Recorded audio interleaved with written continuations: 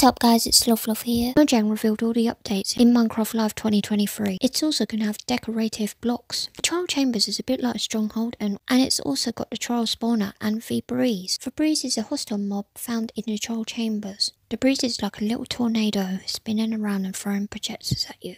The Crafter, it's a bit like the Dispenser. The Armadillo won the mob vote. I'm really happy because I really wanted the Armadillo to win. Subscribe!